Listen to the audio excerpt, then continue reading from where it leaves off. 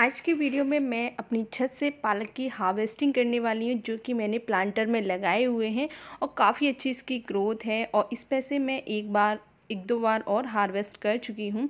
तो आज मैं आप लोगों के साथ शेयर यही करूँगी कि आखिर छत से हम पालक कितना हार्वेस्ट कर सकते हैं। मैंने सिर्फ़ दो ही प्लांटर में लगाया हुआ है, एक क्यारी टाइप है, बहुत ज़्यादा बड़े प्लांटर नहीं है और एक छोटा सा प्लांटर में और लगाया हुआ है।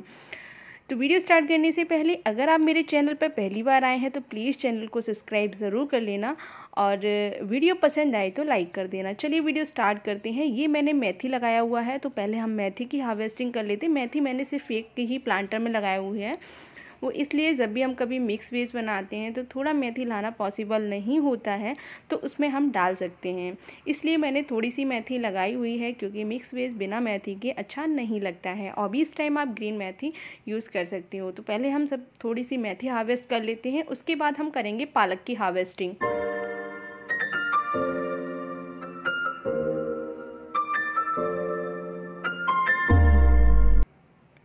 ये मेरा पालक है तो मैंने मेथी की हार्वेस्टिंग कर ली है, वो कितनी हुई है मैं बाद में दिखाऊँगी कि आखिर मैंने मेथी कितना हार्वेस्ट किया है।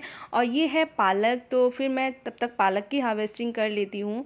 और मैं वैसे चाहती तो इसको कट भी कर लेती, लेकिन कट नहीं करेंगे। कट करने से उतनी अच्छी ग्रोथ नहीं होती है। अगर उसमें से हम तोड़ लेते हैं तो पालक फिर जल्दी ग्रोथ करने लगता है, क्योंकि उनकी जो छोटी छोटी लीव्स होती हैं, वो फिर से ग्रोथ हो जाती है उनकी और जल्दी हार्वेस्टिंग के लिए रेडी हो जाता है। तो आप वीडियो को मेरे को लास्ट तक ज़रूर वॉच कीजिए और नेक्स्ट देखते हैं कितने दिनों में फिर से पालक हार्वेस्टिंग पे आता है इस तरीके से तोड़ने पर तो वो भी आपको पता चल जाएगा। तो इसमें से जो मेरी बड़ी बड़ी पत्तियाँ हैं वही हार्वेस्ट कर लूँगी क्योंकि उतना भी अगर मैं हार्वेस्ट कर लेती हूँ तो भी काफ़ी पालक हो जाएगा। तो छोटी छोटी पत्तियाँ, वो जल्दी से ग्रोथ हो जाएँगी। तो चलिए करते हैं पालक की हार्वेस्टिंग तोड़ लेते हैं सारी जो पत्तियाँ बड़ी बड़ी हैं, उनको ही मैं तोड़ूँगी।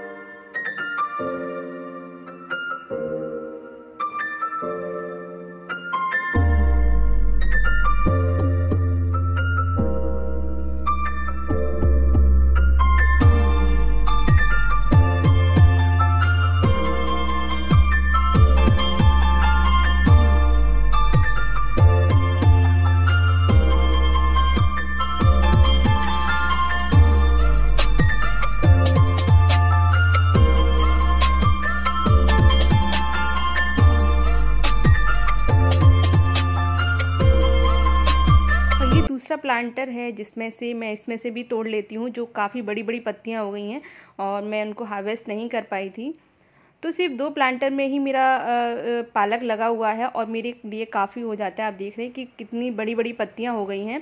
तो इसमें से सिर्फ़ मैं बड़ी बड़ी हटाऊँगी क्योंकि मुझे इतने ज़्यादा की ज़रूरत नहीं है। क्योंकि अगर मैं बड़ी बड़ी भी दो प्लांटर में से हटाती हूँ, तब भी काफ़ी पालक की हम हार्वेस्टिंग कर सकते हैं। तो वीडियो पे अगर नए हैं तो एक बार चैनल को सब्सक्राइब ज़रूर करें और वीडियो को लाइक ज़रूर कर देना और आप भी अपनी छत पर पालक ग्रो कर सकते हैं क्योंकि काफ़ी अच्छा पालक आप प्लांटर में ग्रोथ कर सक हो, हो जाती है उनकी और काफ़ी अच्छी हार्वेस्टिंग भी होती है। तो आप एक बार इसको ज़रूर ट्राई कीजिए अभी भी आप इसके सीड्स लगा करके पालक ग्रो कर सकते हो फरवरी में।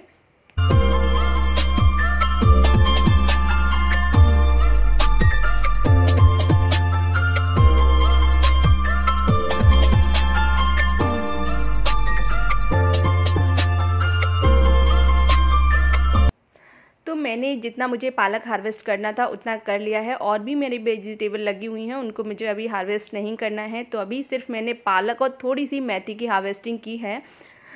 तो आप देख सकते हैं कितनी बड़ी बास्केट भर के मेरा पालक निकल आया है, जबकि सिर्फ़ दो प्लांटर में ही लगा हुआ था। और अगर आप ज़्यादा प्लांटर में लगाते हैं तो तो बहुत ही अच्छी हार्वेस्टिंग होगी। और चलो आपको दिखा देते हैं कि मेथी की हार्वेस्टिंग कैसे हुई है। और ये फ्रेश पालक बिल्कुल ग्रीन जितना मार्केट से लेके आओगे तो उतना ग्रीन नहीं होता है। और ये थोड़ी सी मैंने मेथी हार्वेस्ट की है। एक प्लांटर में थी, उस हिसाब से काफ़ी अच्छी मेथी की भी हार्वेस्टिंग हुई है। तो आज का मेरा वीडियो कैसा लगा, हमें कमेंट बॉक्स में ज़रूर बताइएगा। और चैनल पर नए हैं तो प्लीज़ चैनल को सब्सक्राइब करना बिल्कुल मत भूलिएगा और वीडियो को लाइक ज़रूर कर देना। हो सके तो वीडियो को शेयर कर देना। मिलते हैं ऐसे ही किसी नेक्स्ट वीडियो में। तब तक के लिए बाय और आप लोगों की गार्डनिंग कैसी चल रही है, ये भी हमें कमेंट करके ज़रूर बताइएगा।